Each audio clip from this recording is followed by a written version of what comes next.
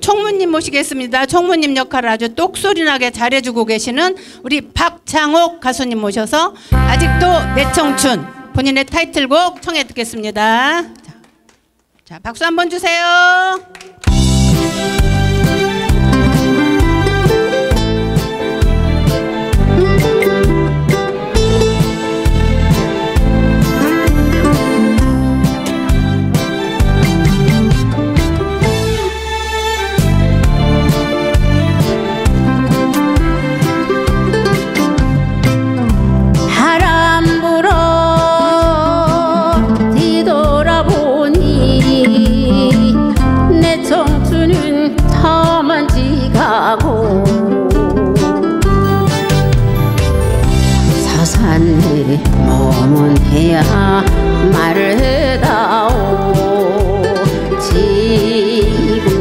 청춘이라고.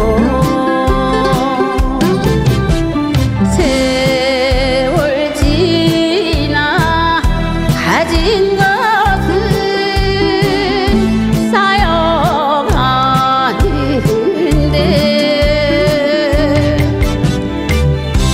내려놓지 못하고 미련을 못 버린다. 아직도 내 청춘은 그렇게 흘러간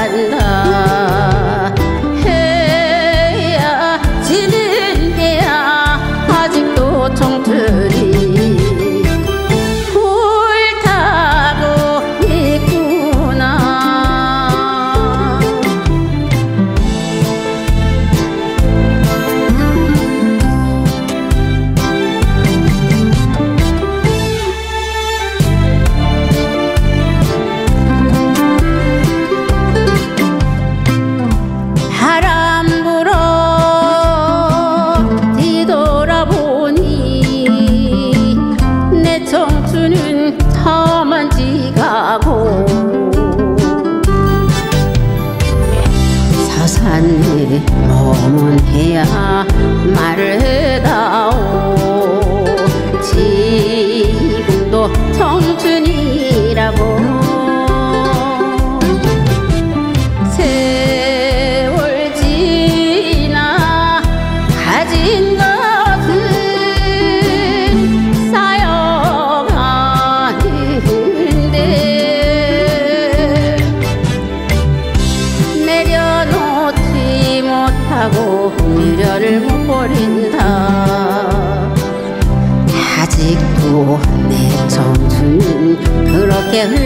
흘